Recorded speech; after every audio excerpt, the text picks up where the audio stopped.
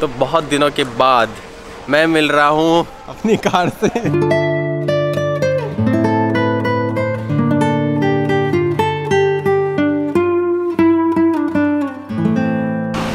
Hey guys welcome back to my channel बोलो। और फ़िलहाल अभी मैं नेहरू चौक में खड़ा हूँ। बस का वेट कर रहा हूँ। ईथन और सलीम छोड़ने आए हैं मेरे को। और मैं जा रहा हूँ अंबिकापुर। कहाँ जा रहा हूँ बेटा? पापा कहाँ जा रहे हैं? पापा कहाँ जा रहे हैं? ओके। और जैसे ट्रेन लेट हो रही है दो तीन घंटे पाँच घंटे वैसे ही ना। यहाँ की बस भी दो घंटे तीन घंटे। नहीं मेरी बस तो वैसे डेढ़ घंटे लेट है। अभी तक दो घंटे हो गए हैं। तो दो घंटे लेट है बस। अब पता नहीं कब आएगी। देखते हैं वेट करते हैं।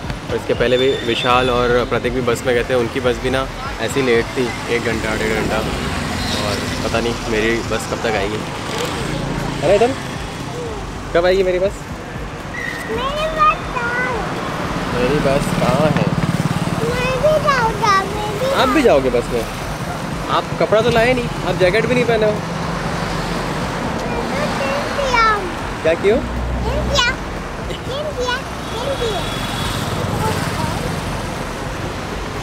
तो एक्चुअली मैं बस यहाँ पे अच्छा जो चाचू के पास चले जाओ चाचू के पास। बस बस में चले जाना चाचू के साथ? नहीं आओगे हाँ तो चुप रहो नहीं तो ले जाएँगे।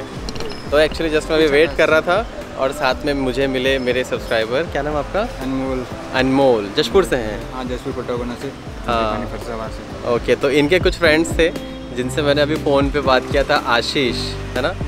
तो वो बिलासपुर में ही है यहीं पढ़ रहे हैं तो कभी मिलते हैं फिर है ना? वही वही। ये परेशान कर रहा है अभी मेरे को। या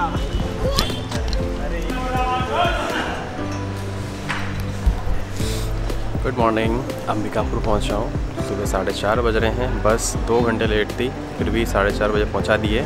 अभी बारिश को फ़ोन किया हूँ, मेरी कार लेके आ रहा है। इतने दिनों के बाद मैं अपनी कार से मिलने वाला हूँ। और जस्ट सो के उठाऊँ ऐसे इतना ज़्यादा सोया हूँ ना कि बस में मतलब चढ़ा नहीं चढ़ा उसके बाद सो गया था। फिर रास्ते भर सोया हूँ और सीधे बस जब अंबिकापुर में रुकी है तब जाके उठा हूँ। तो अभी भी नींद में हूँ। बारिश का वेट करते हैं।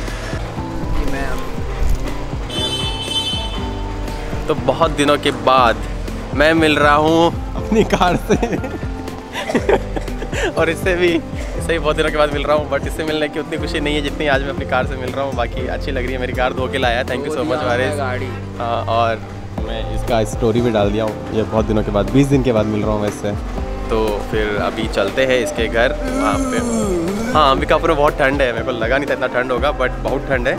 और बिन्नी को बहुत मारने का मन कर रहा है क्योंकि वो बोली थी कि ठंड नहीं है बट यहाँ बहुत ठंड है। मिलेगी तो बहुत मारूँगा उसको मैं। सो है गाइस गुड मॉर्निंग फ़िलहाल अभी अंबिकापुर से निकल चुका हूँ जा रहा हूँ सीतापुर की ओर। सीतापुर में आज एक इंगेजमेंट है वहाँ शूट करने के लिए जा रहा हूँ।